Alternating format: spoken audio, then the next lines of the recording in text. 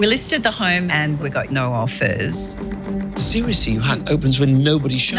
No. No interest No at one. all. And that's because the big house has big problems.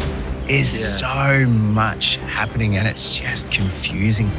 Got an itty bitty little kitchen. And it's down to Wendy and Dennis to show size doesn't matter. It's what you do with it that counts.